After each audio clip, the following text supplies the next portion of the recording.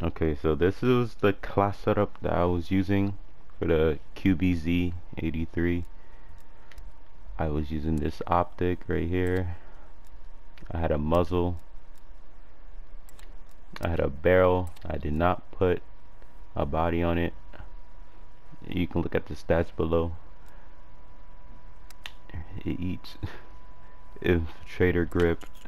I had a 40 round magazine handle this stock.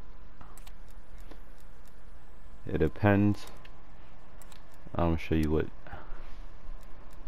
what depends on uh,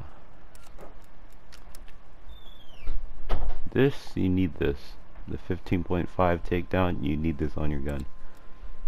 The muzzle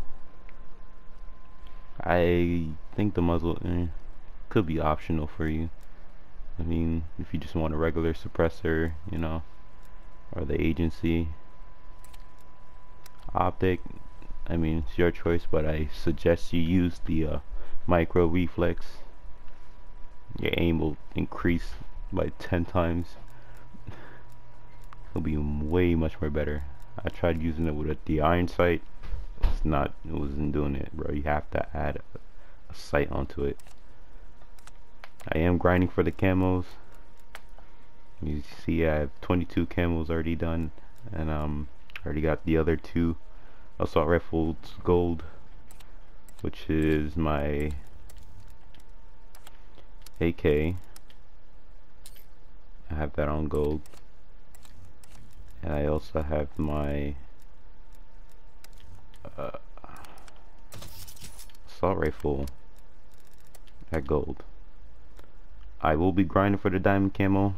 Like the video if you want to see me get the diamond camo, diamond camo, and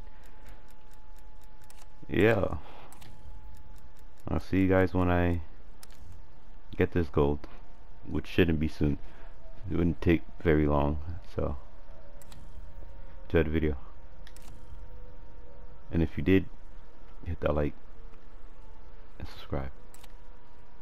Peace.